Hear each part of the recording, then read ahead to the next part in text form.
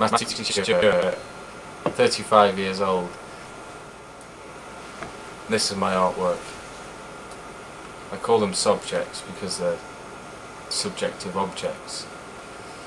They're three-dimensional, transparent objects which I project, which becomes a two-dimensional picture. The buzz I get out of it is the the bits that people find within the work that nobody else sees. I make them on a larger scale and then edit them and layer them.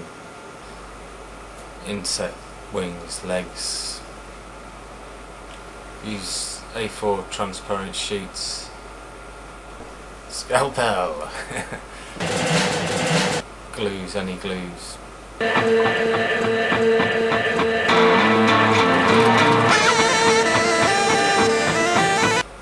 Kids' toys, cut them up.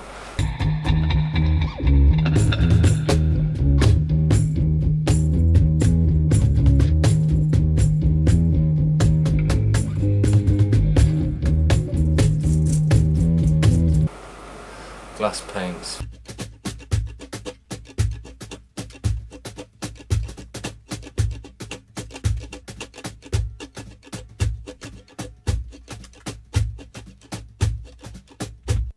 I use a light box for their editing